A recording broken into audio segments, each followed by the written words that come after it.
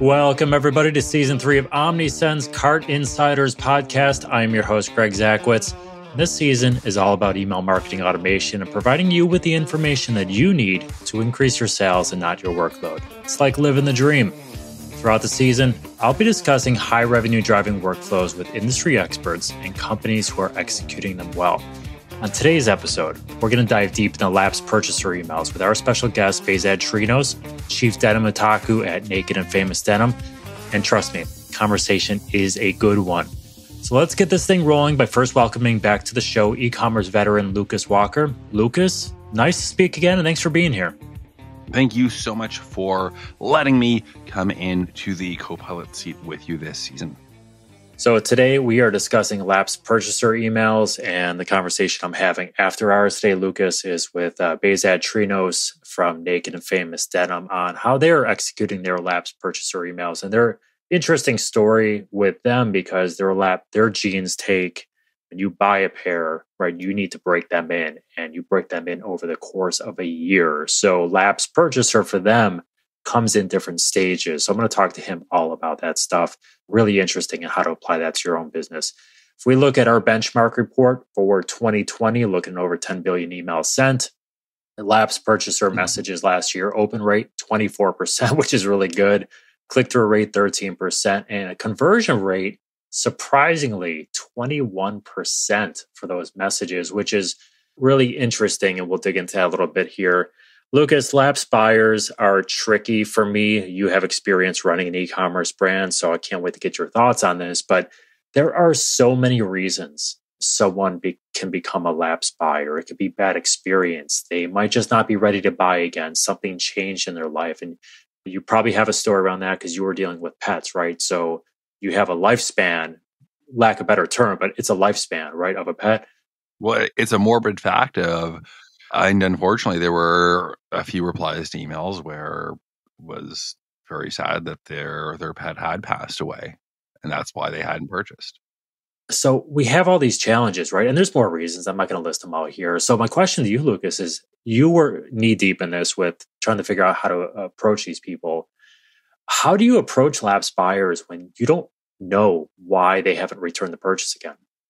Well, I think that one is knowing really what the next purchase could be. So in the case of Naked and Famous, where it's high quality denim that lasts a while, they might only buy one pair of jeans and just wear them for two years. But it could be they don't know about other products that you have. So I think that's the first thing to dive into is what type of business are you? Are you more consumable where it makes sense? Are you more annual? Or are you a more educational, longer lasting, higher ticket item like Naked and Famous denim? In the case of Naked and Famous, it might just be an education piece of, hey, you bought these these jeans and taking your products and putting them into buckets of styles and say, hey, here's what else goes really well with this look. So I think it could be a couple of things, both on the education piece as well as the just, hey, I'm not being very eloquent with my my copy right now because I'm coming off of it off the top of my head. But it could even just be educating customers on what's normal, what's what's a pattern? And it could be saying like hey most customers have have repurchased by now. Was there anything wrong with your la- last order?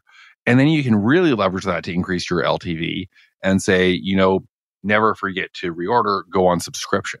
And that can be a huge driver as well. So it could be just presenting that reorder or that next order in a way that the customer didn't even think about it. Is that what you guys did with your brand Yep. So for us, it was because it was a dog treat and a consumable product. Our goal was to get people to three orders as fast as possible because by that point, people are comfortable going on subscription, saving a little bit of money. And that's also how we approach discounts where, hey, if you want a discount, buy a mix pack, buy a case, or go on, on subscription. But for a lot of customers who may not know that that's an option or they may not have to worry about selling out, there was also sort of trying to get that information of do they have a big dog or a little dog? If you have a little Dachshund versus a huge Great Dane, the amount of product you're going to consume is just going to be different. Was there anything you learned from your strategy going through that you had to either pivot or shift with, whether it's copy, send times, uh, what you consider lapsed, information you collected? Obviously, type of dog, probably important to your last point there, but any type of pivots you could think about that you guys did? Yeah, so just eventually following the, the data enough, we could really do a blended average to say what is our ideal purchase or order and try to steer people that way. So in our case, if they could either do a half case or a full case subscription every three to four months, it wasn't asking them to buy too much product. It was reducing our, our shipping and logistics costs. And it was also making it in a way that made sense for them. So it's also reducing their their environmental impact or their carbon footprint of ordering. So I think that there are a few ways there to look at it, but really start to look at how often are your repeat customers coming back and placing those orders and using that to then almost create a new welcome series as a date or compelling event to to order by. So if you know that on average customers order maybe every 75 days, 60 days after purchase, maybe start sending a little bit more of a sales email to warm them up. And it could be something as simple as, "Hey, are you running low?" And for for us on the packaging, the we sort of had a fun little refill mark with uh, the dog's belly. So the the subject line could have been, "Hey, is your dog's belly getting empty?" It's kind of something interesting. Go look into the email, show the product, and say, "Hey, if your treats are below this level, it's time to reorder. Here's a link to do so." Very good. And how about things that either you overlooked or you think brands today commonly overlooked when it comes to lapse purchase, uh, lapse purchase messaging? I think the one of the biggest thing things that brands overlook is assuming that that purchase rate will be the same for each product. So in the case of Naked and Famous denim, if I just bought a bunch of of denim, or let's say I just bought a new a new denim jacket and it was maybe 300 bucks I probably don't want to buy another item that's $300 right away. So maybe in that case, it's coming and saying, hey, you know what? Last call, we want to make sure you hear it first. Here's what's on sale. And just sending that clearance message. So I think it's important to kind of stagger it and have different options of what's for sale, what's not for sale, and changing up that messaging because people aren't going to buy necessarily the same big ticket item every single time. Excellent. And this might feed into the last question I asked you too. So if there is uh, a difference there, feel free to expand. If it's the same answer, feel free to just let me know it's the same answer here. But I've been asking you about pet peeves that companies do when it comes to yeah. messaging. How about lapse purchaser pet peeve? I think assuming that I've used all the product where and give that sort of opt out by so let's say it's a replenishable product. So some some hand cream or some some hand sanitizer if I bought a bunch and I still have some, I'm not going to repurchase and have that uh, w- reason as a way to opt out of these emails because the last thing you want is somebody who's been a successful, loyal customer to mark you as spam.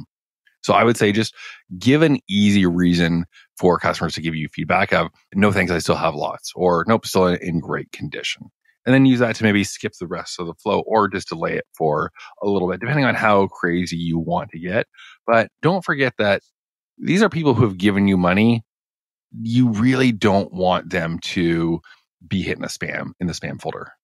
That doesn't always have to apply just to lapsed purchaser as well. Just two days ago, I got an email about upcoming Father's Day promotions, and the whole email was, "Hey, we're going to start sending Father's Day emails to you." Right? So we understand it could be a delicate time for some mm-hmm. people if you don't want to receive Father's Day emails to opt out. Right? So you could get that. So I completely agree with you as far as lapse purchaser goes, but it could also apply to other areas of your business based on peak seasons or something where we talked about very briefly at the beginning stage.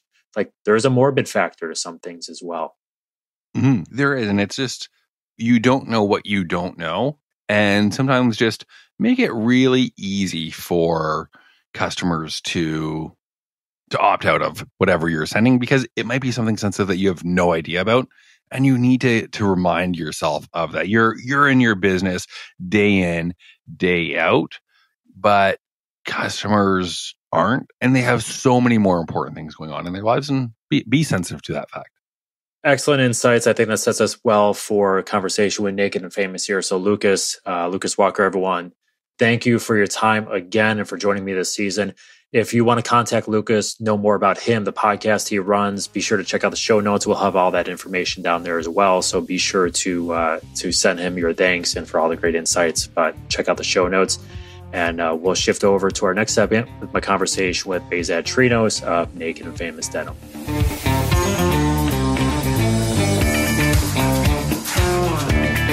I'd like to now welcome to the show a self described denim nerd, Bahzad Trinos, Chief Denim Otaku at Naked and Famous Denim. Bahzad has helped develop an automated email strategy that now accounts for 20% of their email marketing revenue. And part of that automation includes lapse purchase messaging, which sees a 16% conversion rate with those messages. So I would like to dig into the ever challenging topic of winning back lapse customers through the email marketing channel. So, Bahzad, welcome to the show. Thanks for being here, man. My pleasure. Thanks, Greg. Thanks for having me. Always a pleasure. So we chatted for about half an hour before we even got onto recording this here, uh, mm-hmm. which is always nice. We talked everything ear, nose, and throat to uh, to politics. So it's been a good mor- uh, good night so far. I guess good morning for you. Good night. good me. morning for me. Yes, it's, it's right. my favorite two topics: ear, nose, and throat, and politics. We're going to shift to something uh, quite different: lapse purchaser messaging, with which has nothing to do with either of those things we talked about before, but but we're going to jump in. Hey, before we get into it, though, can you give us just a quick rundown about who Naked and Famous is and uh, just kind of do a real quick setting of who your typical customer might be? Yeah, well, we're a denim brand based in Montreal, Canada. We import denim fabrics from Japan. We are also known for being quite innovative in this space. We create a lot of interesting and innovative and new and wacky denim ideas, as well as creating a lot of stuff that is very rooted in denim history. So we're a bunch of denim nerds and we like creating weird denim fabrics. And uh, as a result, we've we've developed quite a, a fan base among uh, denim enthusiasts around the world. So people who are just really interested in odd and interesting fabrications, people who who really like uh, you know the traditional aspect of the way we make things. So we've got a very interesting customer base of enthusiastic denim lovers. Very good. And we're going to talk about email today, especially that lapse purchase messaging. Real quick for the audience as well. How many people are on your email marketing team? Oh, just me. Just you. All right, one person me. show there. Yep. And then quickly, uh, which ecom platform do you guys use? We're using Shopify. Excellent. So I think the story that we hear, at least the customers I talk to a lot, and you'll kind of see this even with larger companies that I've worked with, right? One two man person or two person show kind of doing the email is pretty typical, even for larger companies. Sure. You might have three. So I think the the advice, the uh, kind of the framework you provide today is going to be very relatable to a lot of people because they are just one person shows here as well. So I appreciate the background and I'm excited to see what you guys or what you have been able to do just kind of running this thing off kind of on your own. So when we talk about winning back lapse purchasers, you know, on how email plays a role into that, obviously there's other marketing channels that play a role that might overlap with email a little bit, but I want to dig into the why and some of those tactics for you. The last time I checked your numbers, and yes, I jumped into your account, looked at your numbers here, but we were seeing open rates around 35% for lapse purchase messaging, eight and a half click through rate.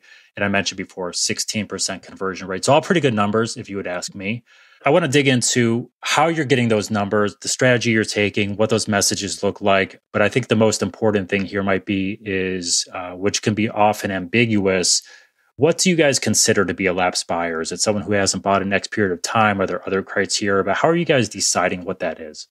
I think for the most part, it's it's a customer who hasn't been a customer for us in a while. And the thing about raw denim is that we encourage our customers to wear their jeans for a long time. You know, but the, uh, for for those people who don't understand what raw denim is, it's basically unwashed, untreated denim, the same basically the the fabric the way it came right off of the loom. So we, we take that fabric, we cut it, we sew it up into a pair of jeans, customers wear it. So there's no wear and tear and you know, fake uh, kind of uh, uh, wear patterns on those jeans.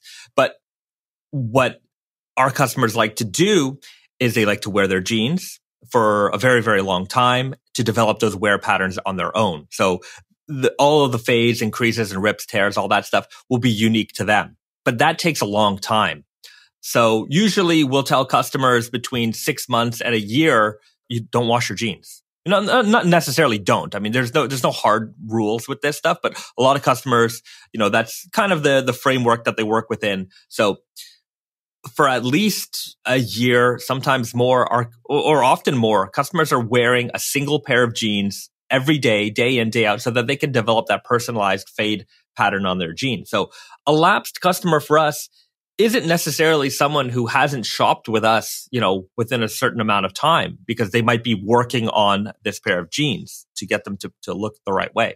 And, you know, once a customer kind of has that look they'll often come back to uh, start over, you know, start a new project. So for us, it's all about making sure that even if a customer is in the middle of working on a pair of jeans, they're seeing all of our relevant information. They're knowing what's going on. Maybe they're pre-planning for a future purchase. So we like to send out these emails to all of our customers to let them know here's what's coming up. You know, here's, you know, our, our latest live stream that's coming on online and we will kind of encourage them to see what's going on and, you know, be in their mind for when they're ready for that next purchase how are you determining the time frame right now for your lapse purchasers? Did you because you you have this really elongated you know shopping window where mm-hmm. like you said they're buying and it might be a year or so before they come back you get some that i assume and certainly correct me if i'm wrong that might be wearing them they start to see a pattern start to develop and they get excited mm-hmm. about it and they come back to purchase something else and they'll maybe want to work on two at a time different color set or sure. something but how did you determine what that time frame is right now? Because you do have that longer window. So i guess the follow-up is do you change that just to, to test them out? So what i've done i have a general like you know we haven't seen you in i think it's it's 90 days. Okay. So if we haven't seen you back on the website within 90 days, you know, we'll send you just a friendly reminder. Hey, here's what's going on. Here's what's new. You know, and these are specifically targeted to those people who, who haven't been back.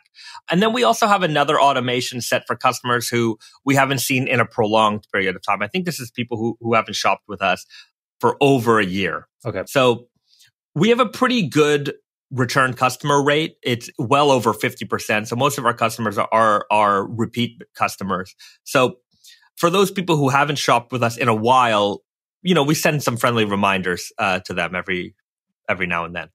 Very good. And you guys are currently setting a three message series on the lapse purchase side. You mentioned some of the message types here, right? You're trying to draw them back. Uh, do you guys, in general, as a as a brand, do you discount as a brand, or are there no discounts? So actually, one of the things that we do is for our email uh, uh, newsletter subscribers, every week we have a, we, we call it a 24 hour special. So there's a, a secret item on sale every week that you will only learn about through that marketing email. We don't publish it on our other social medias. We don't, we don't publish it on our Facebook or, or Instagram or Twitter or anything like that. So if you want to find out about that sale, you got to be uh, signed up for our newsletter. And we let people know, hey, there's there's actually secret sales going on. We're not going to tell you what is on sale, but if you sign up for our newsletter, you will know about it. So that's one marketing email that we do. Another one that we generally have is uh, during special holidays, Labor Day, uh, Fourth of July, Canada Day, um, Thanksgiving, Black Friday, uh, Boxing Day in Canada. We'll have uh, a store wide sale that we advertise and we let people know and we have a just a general sales section on our website which is for you know items that uh, maybe we only have a few units left in the warehouse and it's just kind of stuff that we need to clear out. So uh, we do have some sales from time to time but we generally don't discount new items core items items that we you know running items. Uh, those are always generally speaking regular price so, with your lapse purchase messaging, these messages you're sending out, do you discount all those, or are they strictly informational, engaging, you know, pique your interest type messages that drive them back? They're pique your interest style messages with a sometimes we'll offer a free shipping uh, coupon. Okay. But that's it. Like we, we won't reduce the price of, you know, I, I've seen other marketing tools where, you know, you go on the website, you look at something and then like a day later you get that automated email. It's like, Hey, it's 10% off. And it's like, okay, that's, that might work for them, but the nature of our business, I mean, I don't know what their margins are like. Our margins probably aren't as high as theirs. So just within our space, we are already among the best priced product of its quality class.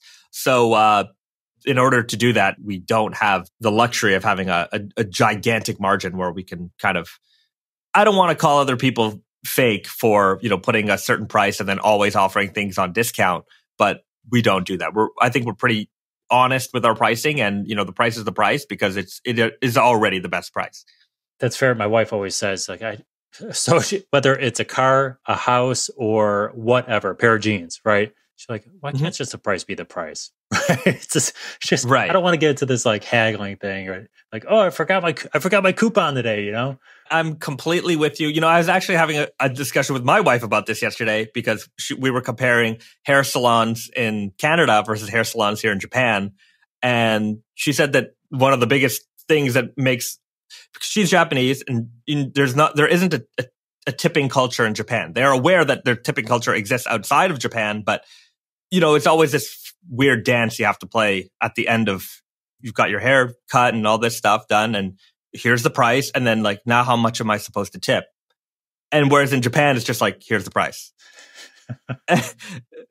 you know, she's like I'm getting the exact same thing, you know, and like it's this odd interaction because like you know, here I paid for a service and I understand that we tip our hairdressers here in North America, but what is appropriate? Because I've just spent hundreds of dollars on my hair and at home I spend actually less for the same service. And now I have to figure out is this a 10%, 15%, 20%? Just just tell me how much the price is. I'm happy with my haircut, you know? I I just want to know how much I'm supposed to pay you. I'm going to spin this right back to to brand and marketing here. So I, you're probably well aware of this, right? We're talking about it now, but retailers for the past I don't know 10 years have really backed themselves, in my opinion, into a corner with discounting, right? Because it was first to try to get some business, and then it was well keeping up with the Joneses, and now it's just everyone's discounting extreme beliefs, right? So th- there's some brands, especially luxury brands, that just do not discount, right? That's what makes them luxury brands. When you get into whether it's welcome messages, post purchase messages, lapse purchase messages in this case, right? There's a, a really big focus on, or we need to build our brand the right way so that people understand that we're not always going to be offering discounts or if they are a lapse shopper, right, we're not going to win them back just by like, hey, here's 50% off, come back and try us again, right? So you've got to always be working on building that brand with day-to-day emails, your your social ads, your paid search, whatever it might be, when you were developing this lapse purchase series and the types of messaging that went into there, obviously discounts were kind of probably taken off the table pretty early on. How did you choose what type of messaging that would would be effective with engaging people that shopped and are just they're not shopping now either because they're not ready to or because you might have potentially lost them, right? It was too much work to do X, Y, Z or whatever it might be. Sure. How did you determine what type of messaging to go into that lapse purchaser series? Well, obviously, discounts are something that people. It's exciting for people. If you know you see an email that says, "Hey, fifty percent off," that's that's very nice. So obviously, I want to catch people's eyes. So if I if I were to offer someone free shipping, well, there's that is technically a discount. It's just sure. it's not fifty percent off a, a, you know high value item, which is our, our jeans are not inexpensive by any means, but it's not the same level of, of discount that I'm offering. But the other thing that we do is there's a specific uh, tool within Omnisend called the product recommender. So I really like this because it allows me to send each customer a very unique email where it's like based off of other customer trends and you know your, even your own behavior on the website here's some products that you might like so we're able to send somebody a very personalized message where it's like, Hey, we haven't seen you in a while. Um, here are some products that, you know, customers like you are looking at. And I know from my own personal experience, I like that kind of stuff. For example, like I'm, I'm a big movie guy. I love movies. And so if I'm watching, you know, a movie review, I want to know what other movies this person who I, maybe I respect their movie reviews. I want to know what other movies they like what is their top 10 list of movies? So if I'm a consumer and other people are similar to me and they're making certain purchases, that could be kind of interesting to me. Oh, really? That that's if I were to look at that email and say, "Oh, that's interesting," maybe I'll I'll, I'll check that out. Whether or not I purchase, you know, who knows? But it's it's fun and interesting to know what other people within my hobby and raw denim. I, I also treat it like a hobby. It's fun to know what other people who are similar to me are are also looking at you say that, I immediately think of that Seinfeld episode where Elaine's looking at I forgot the guy's name, but the the movies, right? He was in like a blockbuster type thing. Gene. It's like, oh, that's a Gene recommendation. Yeah, yeah, he yeah. turned yeah. out to be like a 16 year old kid, right? So right. I missed that. You know, like I, you know, I'm I I have a pretty extensive movie collection, and uh, I do miss the video store. I just I loved going into movie stores, and there was always the selection of uh, you know the staff. A Bay Street, there's a store in Toronto, Bay Street Video, I think, and uh, it's one of the it's it's a they do rental still, and they have an incredible assortment of uh, films for sale and they always have a, a great uh, you know staff selection there. So I do appreciate that reference. There you go. So Bahzad, you guys have three messages sending in your Lapse Purchaser series right now. Curious question, and there, there's there's no right or wrong answer to this. Like, how did you decide that three is the right number? Was it just the amount of content? It's like, okay, these are what we want to convey, and that's kind of good there. Or was there some sort of magic science behind me? Like, hey, three's what everyone else is doing. How'd you come up with that number? the first email in the lapsed email series actually isn't a like come and make another purchase. It's tell us how we did. It's actually an ask for your customer feedback. So within that series, we, we do have, you know, three emails going out, but the first email has absolutely nothing to do with trying to get your business again. It, in fact, it's, it's been a good amount of time You've had the product in your hands for a while. Let us know what you think. And uh, people respond to that. So it's a good, I think it's just a good way to like, you know, I'm trying to think of an analogy, but I can't. But I think it's just a good way to uh, pique someone's interest and uh, have that lifeline out there and say, hey, here's a, here's now we've got some communication going.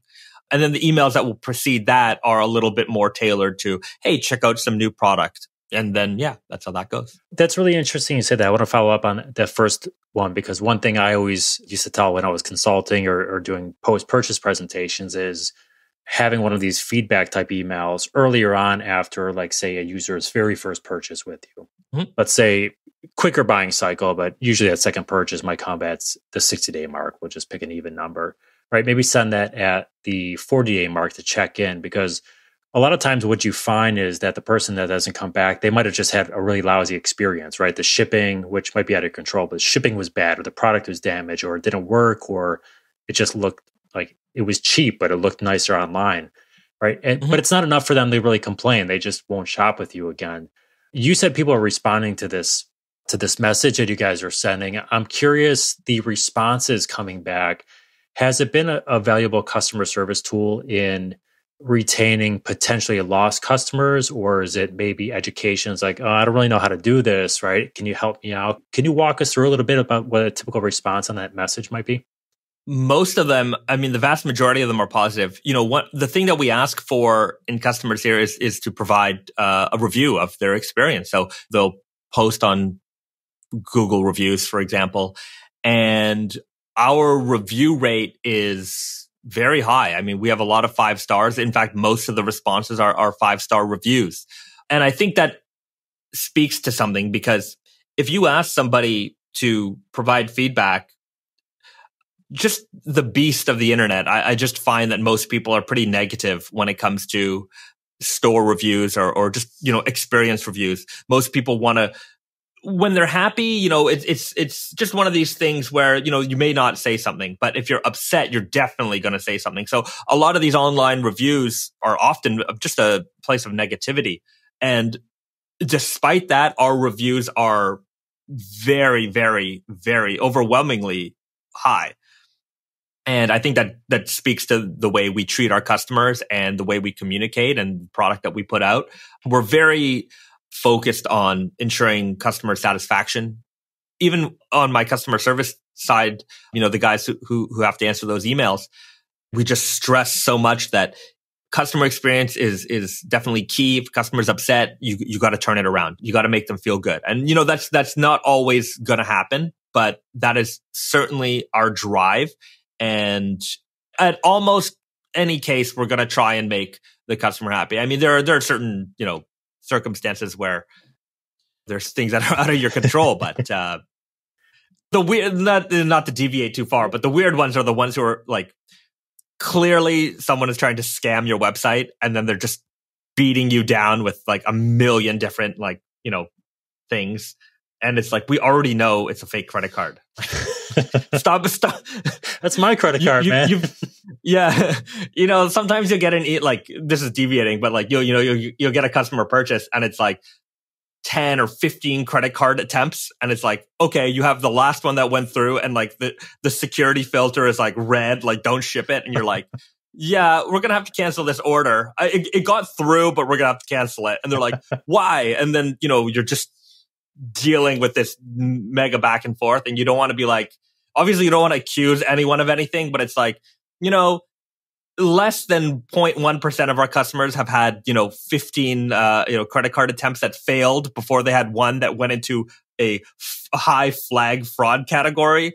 I'm pretty sure you're not being honest with us. That's pretty good that's pretty good. Yeah, it's really cool to, to, to see that people are responding to that email and that you guys are uh, obviously is a testament to your brand and this the culture you guys have with trying to fix problems if there are problems, but with the positive reviews as well that people are just responding favorably to those as well. So I think it's really important lesson for anyone who's listening today.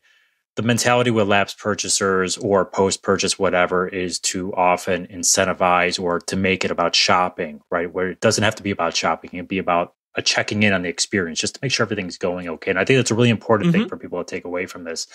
We mentioned very early on this conversation, you're kind of a one person wrecking crew from the email side over there. So I mentioned that this is going to be similar to what a lot of people listening to this podcast are probably faced with. They're doing it themselves. They're probably doing email while they're listening to this in the background when it comes to creating the messages, getting them implemented, inspiration for the messages, like how did you, as one person who I will guarantee you have other things to do other than just send emails and create emails, um, how did you go about creating these things? Well, I'm, you know, aside from doing the emails, I also do the social media. I also do the product development. I'm also the general manager of of the company. So, you know, whether that's retail or online, you know, even even you know, product creation, website building, like we're a small company. I'm, I'm sure many of the, the listeners here are also small companies. Maybe they're they're just one person companies.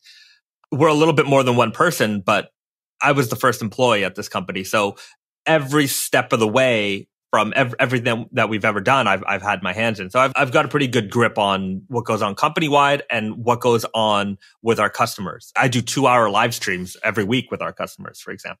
So when it comes to messaging and branding, this is something that I helped develop from the very beginning. You know, we had we had no idea what type of information our customers would like. So just through trial and error over the years, you know, trying to figure out what kind of stuff our customers react to. So through our email marketing, it's often letting people know about upcoming products. So we have a, a product release. So we, will create a blog post, which I, I will write. We'll, we will create uh, imagery, which I often will shoot.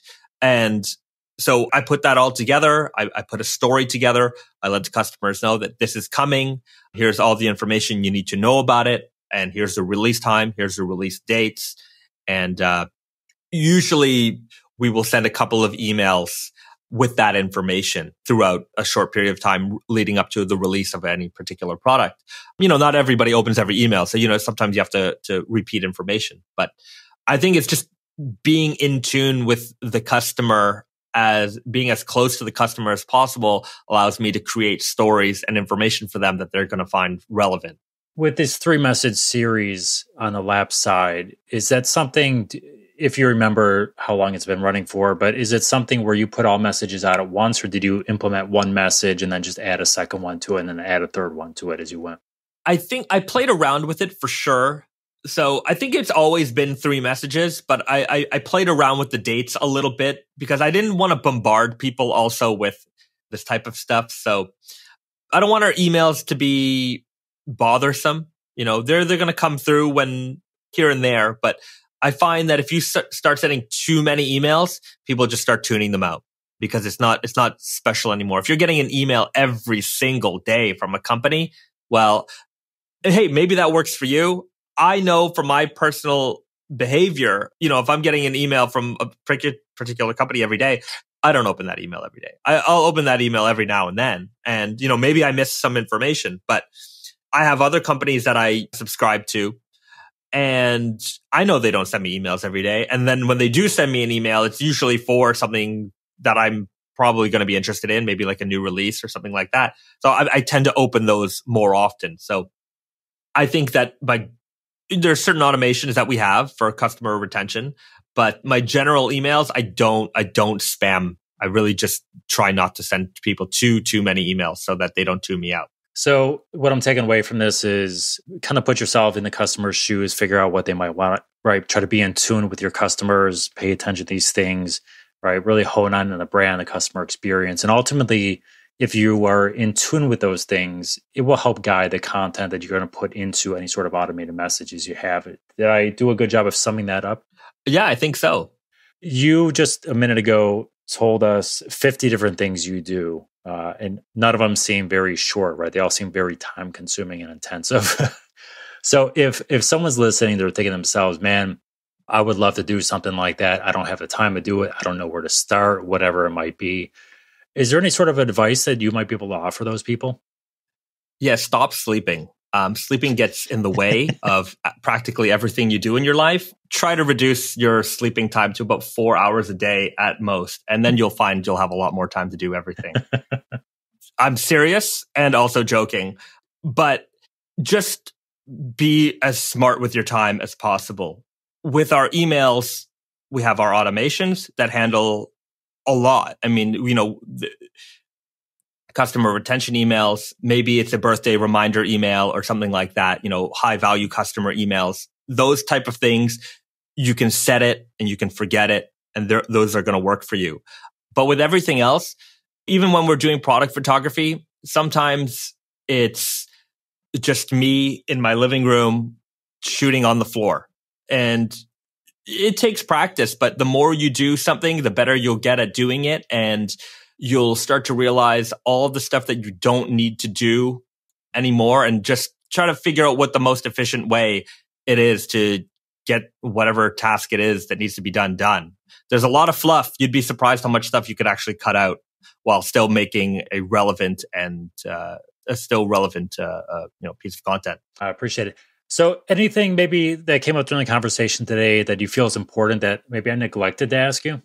I don't think so. You know, when it comes to the customer retention, I think we've, we've covered practically everything. Very good. I've got to ask you. I wasn't planning on asking you any sort of fun questions, which I typically do. You said you you're a movie buff. I have these conversations with friends and, and family all the time. Is there a most overrated kind of popular movie that you you could point to? Most overrated popular movie. I don't know. I'm the kind of guy who takes a look at criticisms of pop music and then I turn it around and say, well, why are you even, why do you care?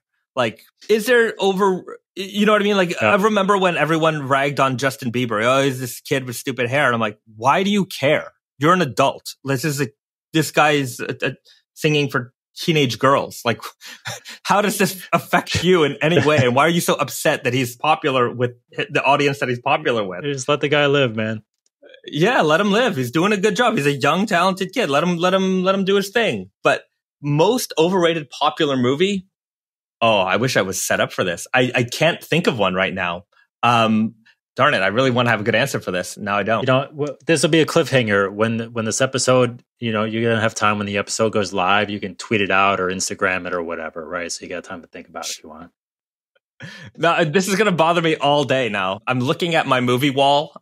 There's almost fifteen hundred movies here, and uh, I'm trying to point out one that I think is an overrated popular one. Anyways, I'll give you mine real quick, just so when you're going through the day to day, you're just not distracted, right? Because I don't want to take my time away from your day. Uh, dazed and confused is mine. I, I, don't get it. I don't get it. Okay. No, no. I mean, I, I, I like that movie. So uh, everyone does. yeah, everyone does. Everyone does.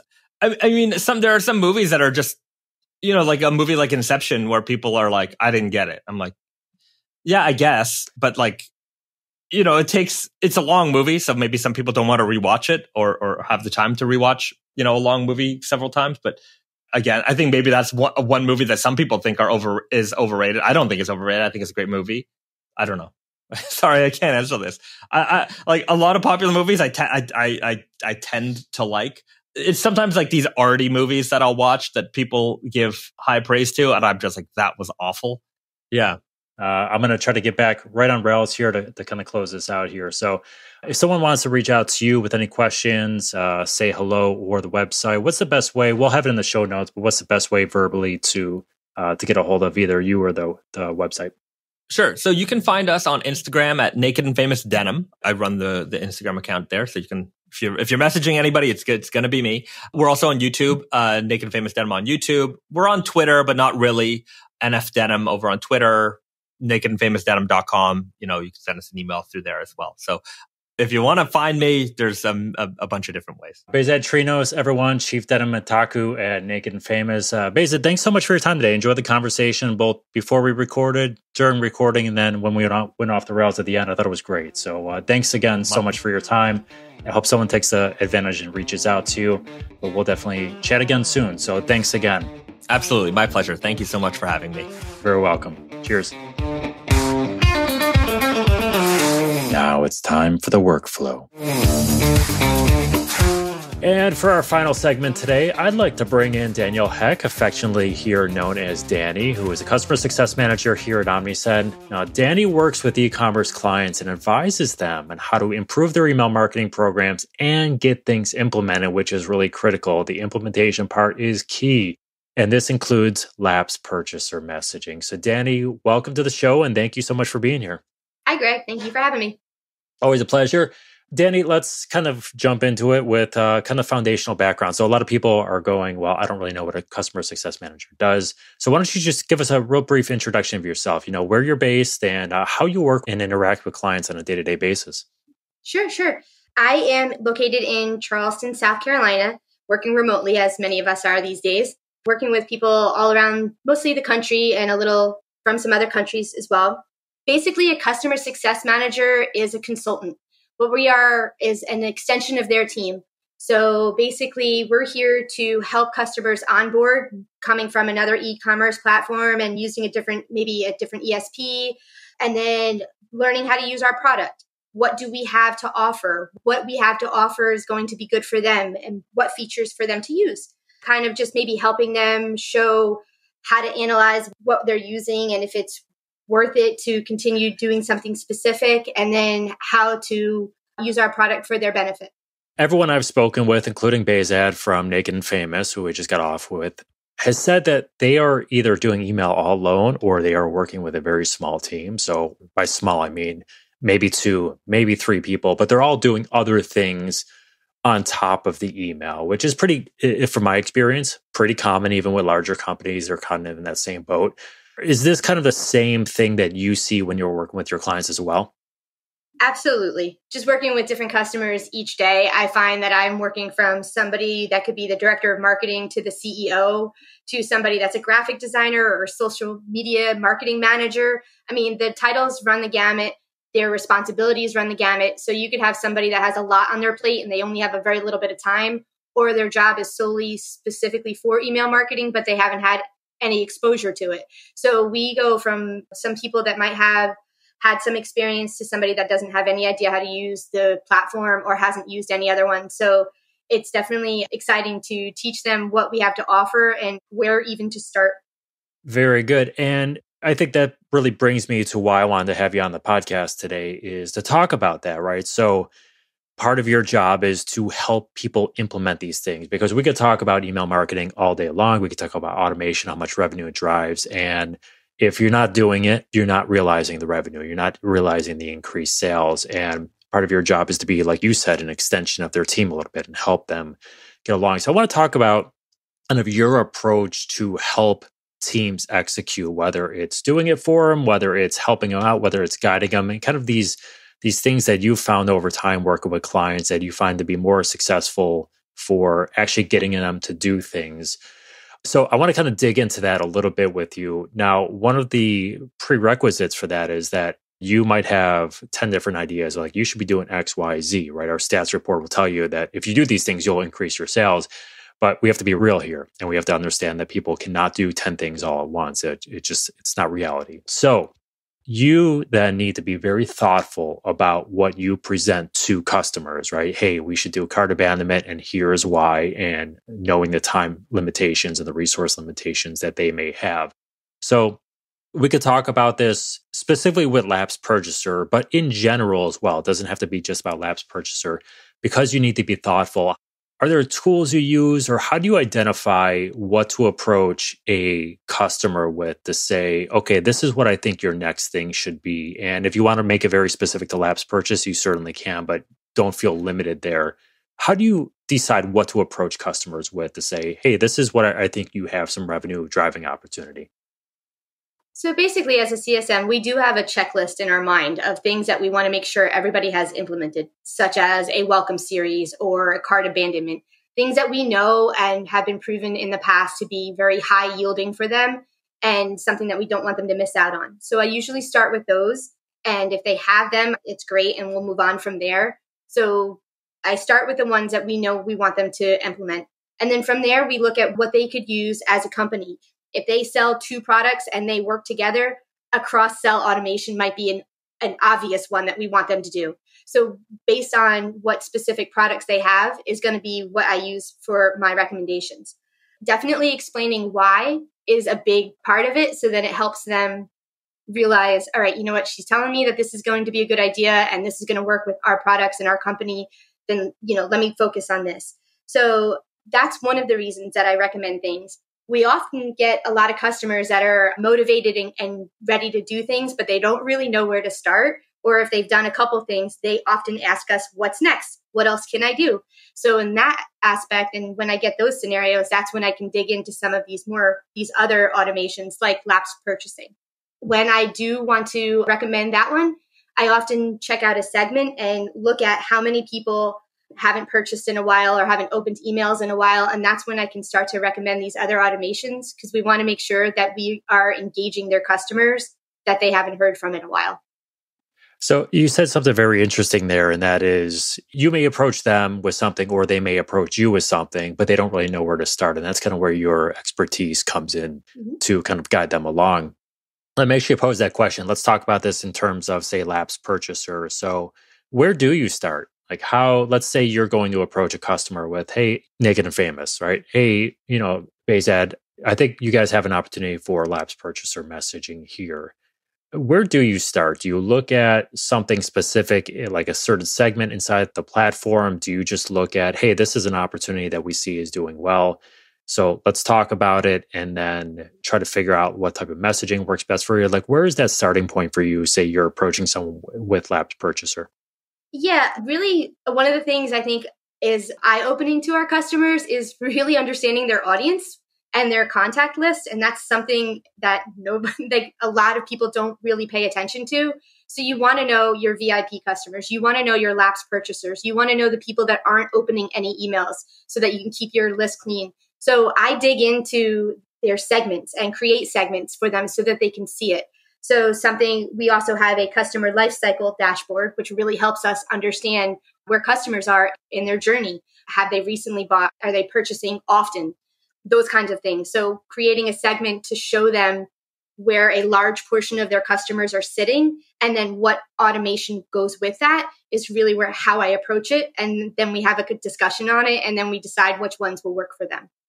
So that's really cool. You mentioned the well, you mentioned a couple of things I want to circle back to. The customer analytics dashboard, not the plug Omnisend, but I work for Omnisend. So let's just call it what it is, right? Let's be transparent here. Really cool, right? So I've worked in the email space for a long time, practitioner, consultant. It's a really cool dashboard. So if you are a current Omnisend client, you know, certainly take a look at that dashboard if you haven't yet, if you want to kind of check it out. And if you're not certainly sign up for a free trial and things like that and check those things out. Really cool, helpful, impactful, but uh, more so, I would say, for those customers that maybe don't have those resources and don't want to create, like, think about creating 20 different segments to, to slice and dice that. We kind of do that for you. So, really cool tool. You mentioned something right before that with helping them understand which messages or what type of messaging may be most suitable for their brand. Can you elaborate on that a little bit. And what I mean by that, maybe to help guide you along, is you know, we'll say Naked Famous or we'll say XYZ company. Do you look for other examples from companies in that same space? Do you just look at any examples from companies and say, okay, what do we want to hit on here from a lapse purchaser messaging? Knowing that I've looked into the list and I understand the audiences. Like, how do you approach the right messaging for the right brand? I think it's going to depend on like the products. Are they the type that people will buy a bunch of different products from them on a regular basis? Or are they selling luxury goods where people purchase once per year or something like that? Then it's going to be a little bit different on how we approach it, how we approach an automation for lapse purchasing. Are you going to do? We typically re- recommend at least a few messages, perhaps three, to give people time to decide to engage again and purchase and maybe putting a certain time frame in between those messages will depend again on the types of products that they sell or how often they sell. So that's really cool because when I was talking to uh, Bahzad right before this, he had mentioned the same thing, right? It's kind of a, a higher price product, but it also takes, he said, a year to kind of wear in jeans and get those fade marks. So you're not necessarily buying a new pair of jeans the next month. So you just said, right, it could be a luxury product where they buy once a year how do you really determine lapse at that point? And it was the exact scenario that Bahzad had laid out for me. It's like, well, they're not necessarily lapsed, but in some sense they are lapsed, right? So how do we approach that messaging? And it was a challenge for him, right, to figure out what the right timing is, what the yeah. right messaging in there is. So I think your point of, hey, if you really understand the products you're selling, the audience you have, their buying patterns, which the dashboard can certainly help you, it kind of shakes that out a little bit. I want to shift gears a little bit to implementation because this is the one thing that I've always found that companies have a real struggle with is okay, you know, I want to do a welcome series, I want to do a cart abandonment series, I want to do a lapse purchaser series. It takes work, right? We have to create the message, we have to come up with designs, we have to come up with timing rules, which you help with that. And you just went through some of the ways to do that. But the implementation part of it, we need to create the workflow, we need to put the messages and actually push send, which sometimes can be, or turn on, right? Activate. It's sometimes that could be a scary thing for a company because, like, am I doing it right? How do you approach the implementation side when you're dealing with customers? Is it, I don't want to lead you to an answer, but I'll kind of give you a somewhat leading if it gives you a helpful kind of pivot there. But do you approach okay let's do one message at a time. This is the say we want to do three messages four messages. We want to do these. These are the ones we're going to do and this is how we're going to do it. But let's do one message at a time or do you work with them to go okay if it's four messages let's create the four messages. Let's get the automation going with four and let's just turn the complete thing on at once. How have you found the best approach to be from an implementation side so, with the implementation, a lot of times we have these types of discussions right at the beginning for onboarding. Right after we get them going, they start looking at automations, how to start, which ones should we use first, how many messages in each one. So, again, I think I mentioned this earlier. We always start with the ones that we want them to, we know are the highest yielding and the more popular ones that you want to have, such as a welcome message. If someone's signing up and you have a pop up or you have ways of collecting subscribers, you want that first message to go out. So we definitely want to start with that one.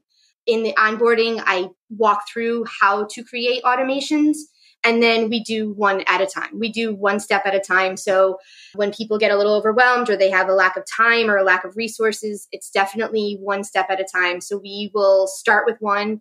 I have recurring phone calls with people, especially as they're setting up their accounts with Omnisend. And then after that first one's set, I'll look it over, tell them to start it. We're good to go. And then after that one, we decide which one are we doing next. And then we walk through each one at a time. And then that's how we can determine which ones we want to continue with. Automations are really big, and a lot of people haven't used them in other ESPs. So these, a lot of times, are the first time that they're seeing them and their first time that they're realizing that they're going to be an incredible addition to their email strategy. So once we get one going, the good ones with the welcome and the cart abandonment, and they see some success with those, they definitely get a little bit more interested in what other opportunities do they have. So one at a time is definitely our the name of the game. Have you found that to be, and the assumption is going to be yes, but I'm going to ask it anyways. Have you found that to be, because uh, that's what I do here, right? Mm-hmm with the one at a time approach, which I personally like the one at a time approach because I find you can execute it a lot quicker than having something over your head. But have you found that to be over time the best way for companies to actually implement? So if you work with, say, company A and company B, and company A does one at a time, and company B says, okay, I'm going to do the same number of messages, but I'm going to do it all at once. Do you find that A implements the entire series quicker by doing one at a time versus company B that does the same number of messages, but implements it all at once. Does that make sense? It does make sense. And that, and that's obviously that's very true, especially if there's any scenarios where there is a step in the automations or a step in the process that they haven't gotten down correctly. So if you do that, you might have to adjust several of the automations because it wasn't done correctly at first. Doing one, making sure that it's successful, then you start going and then you have better ideas of how it's set up. You might need to adjust the trigger because you didn't have a segment correct or something like that. So it's definitely best to do one at a time so that you know that you have it straight. And then once you see the success of that first automation, then you can move on to the next one. That's the moneymaker right there, literally and figuratively. Mm-hmm. So I think that's the main takeaway from this whole conversation here. Danny, I would say, you know, I would ask you this for companies who are tight on resources, and I've asked every guest this so far to offer advice to them. From your perspective, sitting outside an organization, what advice would you offer to companies who are tight on resources but do want to do things like this? We really just need to identify their priorities. So, is your priority growing your contact list because you don't have a lot of subscribers and you need more subscribers to get your emails out there? Or do you really just want to focus on campaigns, but maybe touch on an automation or an SMS messaging or something? So, we just really need to nail down the priorities and then take it again one step at a time and break it down as much as, you know, this month, let's just go ahead and get one automation done next month let's go over and try to send one sms message and see how well that does and if you break it down and make it seem not so overwhelming and just doing one step at a time they're more likely to be able to implement these faster with a, a, little less stress. And then once they see success with each thing that they do, and you break it down to maybe one task and then maybe two tasks a month as the more comfortable they get in the platform. So just kind of guiding them through that and letting them know that you're there to help them with each one of those steps. Awesome piece of advice. And folks listening, if you are struggling, that is a recurring theme of what every single person has said so far. So please take it to heart, one thing at a time, right? You can get 10% of 10 things done and you are nowhere. You get 100% of one thing done and you are now 10% closer to the finish while revenue is driving and increasing in the background. So what everyone has said so far is focus on that one thing and focus on your priorities at that point. You'll see progress, which is excellent. So I appreciate the answer. Danny, nothing email marketing related here, but we're going to end this conversation with a final question here about personally, what is the best thing about working at Omnisend for you, other than being on this podcast?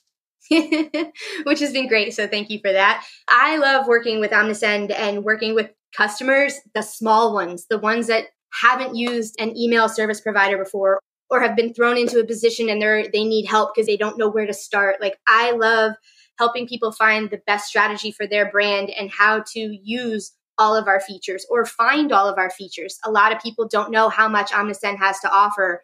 And when they only come in thinking they're going to use email marketing and then they come out using automations and SMS and push notifications and partnering up with some of our third party integrations and using loyalty points and all of the things that we have to offer and like showing them that and then finding success with that over time with them is just it's extremely exciting. Awesome great answer Danny Heck, everyone, Customer Success Manager here at Omnisend. Danny, thank you so much for your time today. And to everyone listening, thank you for yours. If you have any questions, comments, or want to learn more about how to use email marketing to increase your sales, not your workload, please feel free to email me at podcast at omnisend.com or visit us at omnisend.com. Until next time, have a great day and be kind to one another.